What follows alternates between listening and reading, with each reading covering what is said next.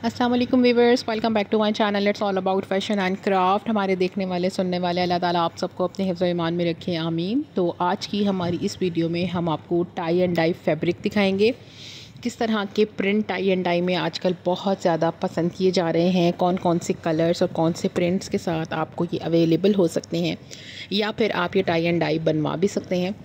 तो बहुत से बेहतरीन और ख़ूबसूरत तरीन आइडियाज़ आज की एक ही वीडियो में आप ले सकेंगे जिसमें बहुत अच्छे कलर्स बहुत अच्छे डिज़ाइंस और बहुत ही अच्छे तरीके से इसको स्टिचिंग के बेहद खूबसूरत तरीन आइडियाज़ आपको नज़र आएँगे।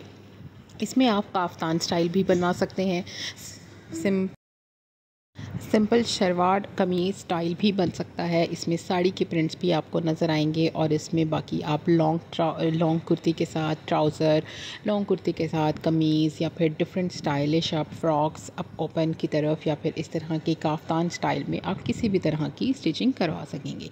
तो डिज़ाइनिंग यहाँ से देख लीजिए, फिर स्टिचिंग के कुछ आइडियाज़ भी आपको यहाँ से मिल जाएँगे। इसके साथ आप इस तरह एम्ब्रॉयडर्ड दुपट्टा भी बनवा सकते हैं धागे की कढ़ाई में। फिर इसके साथ एम्ब्रॉयडर्ड नेकलाइन भी लग सकती है। फिर इसके साथ बहुत अच्छे अच्छे नेकलाइन और नीचे बॉर्डर पट्टी लगाकर आप तैयार करवा सकते हैं।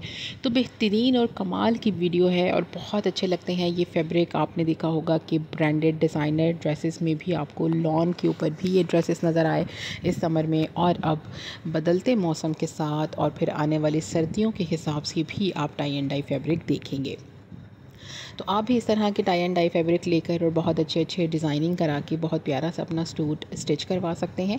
इस तरह के और आइडियाज़ लेने के लिए हमारे चैनल को सब्सक्राइब करके रखें और साथ में बेलाइकन ज़रूर दबाएँ। अगली वीडियो तक के लिए इजाज़त चाहेंगे। थैंक्स फॉर वॉचिंग अल्लाह हाफिज़।